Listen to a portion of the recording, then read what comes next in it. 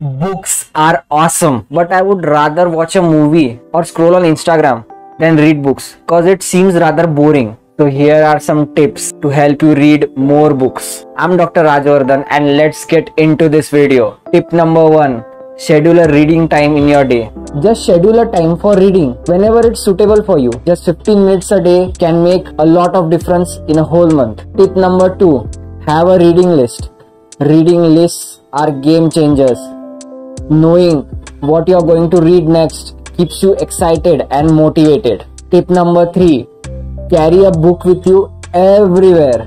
Like if you carry a book with you everywhere, whenever you get an opportunity, you can just read it. You will be surprised at how many opportunities you get during a day to read. Tip number four DNF is your friend.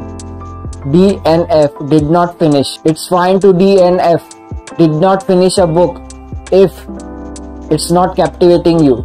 Reading should be enjoyable and less like a chore. That's it for this video. But remember that the number of books you read isn't as important as the joy and the knowledge you get from each one of them. Keep quiet and do the work.